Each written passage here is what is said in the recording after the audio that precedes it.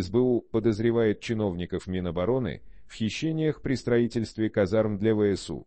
Правоохранители объявили подозрение должностному лицу Министерства обороны Украины, поскольку считают его причастным к хищению при строительстве казарм для ВСУ.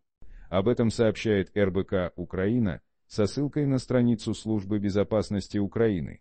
К сделке причастны бывший руководитель главного квартирно-эксплуатационного управления ВСУ и старший офицер отдела технического надзора за строительством указанного учреждения, говорится в сообщении. СБУ отмечает, что именно они являются организаторами механизма хищения более 5 миллионов гривен на строительстве казарм для военнослужащих на территории Николаевского гарнизона. Для реализации сделки руководитель управления заключил несколько договоров с коммерческой структурой по выполнению ремонтно-строительных работ.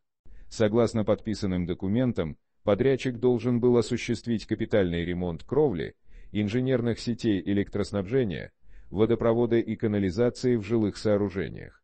Впрочем, соответствующие работы коммерсанты выполнили не в полном объеме, а перечисленные бюджетные деньги участники схемы вывели в тень, добавили в СБУ.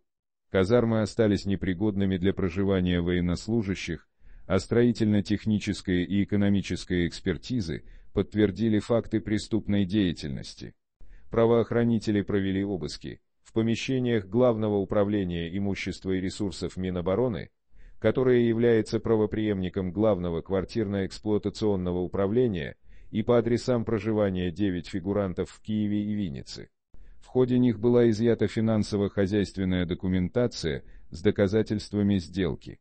Работнику отдела технического надзора за строительством Главного квартирно-эксплуатационного управления ВСУ уведомлено о подозрении в злоупотреблении властью или служебным положением. Ему грозит до шести лет лишения свободы. Напомним, что правоохранители разоблачили масштабные коррупционные схемы на таможнях Черновицкой и Одесской областях. К махинациям были причастны руководители таможенных постов. Также правоохранители разоблачили руководство Центральной военно-врачебной комиссии на получении взяток от уклонистов.